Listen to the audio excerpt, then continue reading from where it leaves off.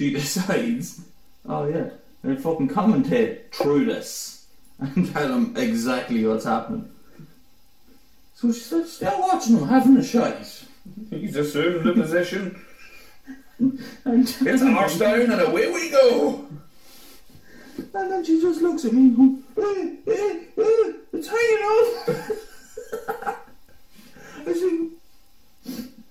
was like, ah, for fuck's sake, now I have to turn around and look at it. Like.